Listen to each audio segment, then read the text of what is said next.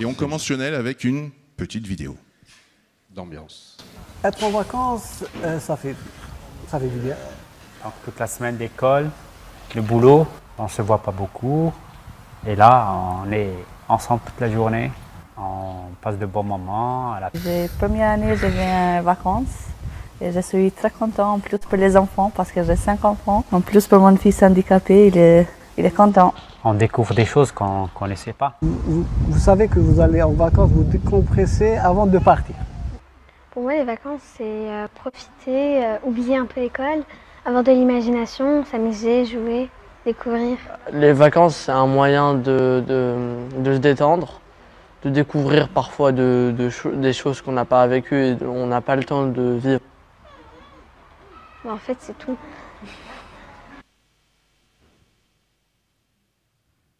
Mais en fait, c'est tout. Voilà, je crois que c'est résumé. Alors, normalement, cette petite vidéo, elle vous met en ambiance, elle doit vous toucher votre cœur. Je vais essayer de toucher votre cœur, bien sûr, mais aussi de toucher votre raison. Votre raison, parce que effectivement, aujourd'hui, les chiffres sont éloquents, vous le savez. Là, on a vu quoi? 5, 6, 10 individus. C'est 40% de, Fr- de Français aujourd'hui qui sont concernés par le non-départ en vacances. C'est 25 millions de personnes. Alors, il ne s'agit pas de culpabiliser, mais on se targue et on a raison d'être une des toutes premières destinations touristiques au monde. On fait notre métier du mieux possible. Et pour autant, 25 millions de Français ne partent pas en vacances aujourd'hui. Alors on peut se dire, ce chiffre, quand on le regarde dans le temps, il ne bouge pas. Donc on va dire que c'est une fatalité. Donc on va s'habituer à ce chiffre. C'est 20% en Allemagne, c'est 10% en Suède. Donc on a les moyens, on a les moyens ici de faire bouger les choses. On parle beaucoup de transition dans le tourisme. Depuis des années, on en parle. Et on agit dans ce domaine-là. Mais aujourd'hui, on est plus sensible sur notre imp- notre impact sur l'animal, sur le végétal, quid de l'humain?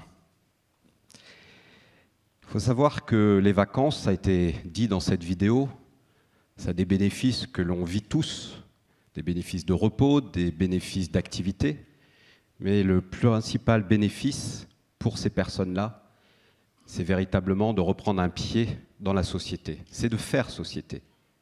Et donc aujourd'hui, vous êtes en train de manier une matière extrêmement noble, puisque par le tourisme, on peut réduire la fracture sociale véritablement. Ce n'est pas moi qui le dis, c'est les organisations avec qui nous travaillons, c'est les psychologues, c'est les sociologues qui travaillent sur le sujet, c'est des gens comme ceux que vous avez vus dans la vidéo témoigner pour véritablement exprimer le fait qu'ils reprennent confiance en eux à l'occasion des vacances. Alors, fort de ce constat, 40% des Français ne partent pas en vacances, un élément de refaire, de faire société au travers des vacances. On vous propose aujourd'hui un système qui s'appelle jour pour jour, qui est extrêmement simple, puisque dans le contexte, j'aurais pu rajouter que nous sommes champions du monde des vacances, des vacances pour nous. On a 25 jours, on a des RTT, on a des ponts, donc on a une ressource extraordinaire en vacances. Et donc on vous fait une proposition aujourd'hui c'est donner une journée de congé pour ceux qui n'en ont pas. Le système, il est simple. Aujourd'hui, en moyenne en France, nous avons 33 jours de vacances. La loi nous oblige à en prendre 20. Donc potentiellement, on a 13 journées de vacances qu'on pourrait redistribuer, qu'on peut donner. Vous savez que c'est possible dans les entreprises, notamment du don de RTT pour des personnes en difficulté. Ça ne l'était pas jusqu'à aujourd'hui de sortir ces journées de congé et de financer des départs pour ceux qui, eux, ne peuvent pas partir. Alors bien sûr, on ne va pas en demander 13, évidemment, et puis d'ailleurs, on ne demande rien du tout.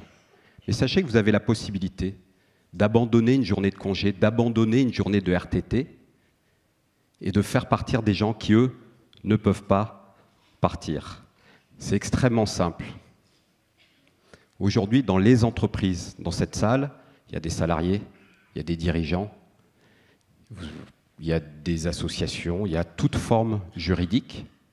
Vous avez la possibilité en tant que salarié de vous tourner vers votre employeur et dire j'aimerais faire un don de congé. Et puis si vous êtes l'employeur, il y a la possibilité de mettre en place ce système de don de congé au sein de votre entreprise. Cette journée de congé est une, cette journée non prise de congé, elle a une valeur.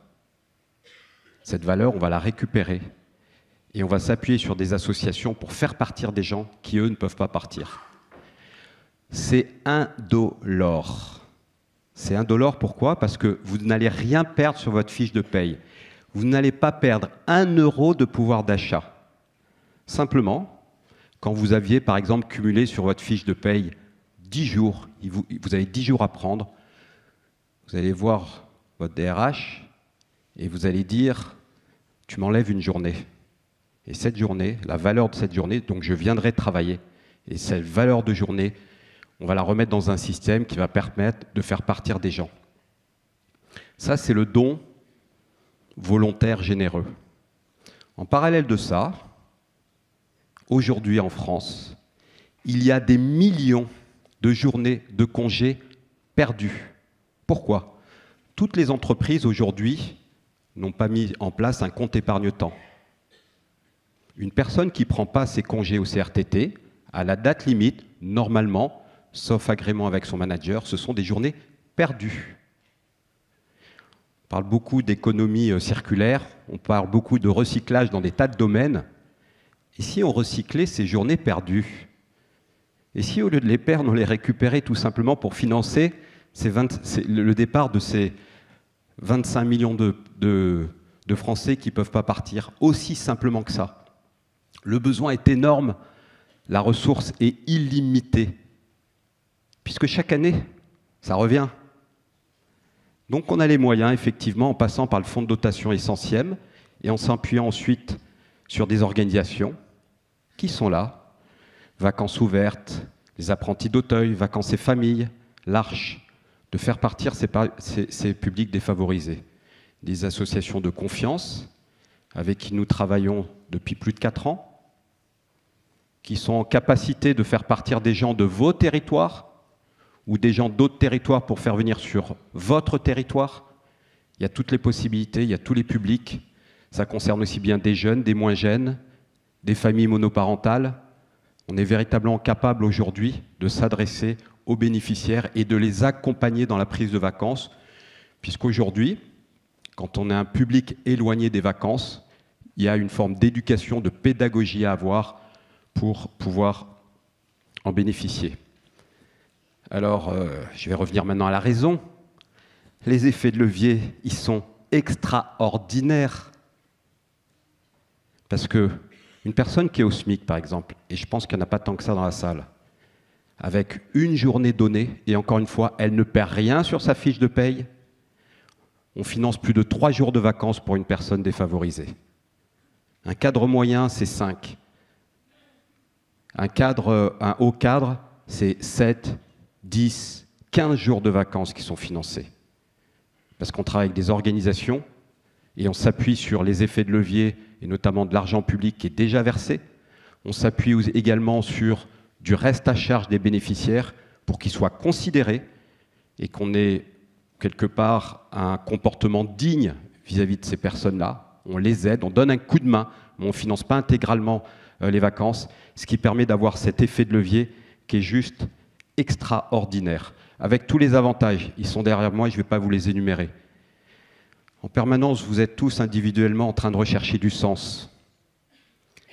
Vos employeurs cherchent du sens également. Cherchent du sens parce que ce sont des personnes responsables, cherchent du sens parce qu'elles veulent également travailler la fameuse marque employeur. C'est un des moyens de trouver du sens. Il est simple, il est généreux, il est efficace. Il y a une équipe autour de ça. Un petit clin d'œil à Nicolas, ici euh, présent, qui depuis le début de l'aventure nous donne un coup, de main, bénévolement, sur le sujet.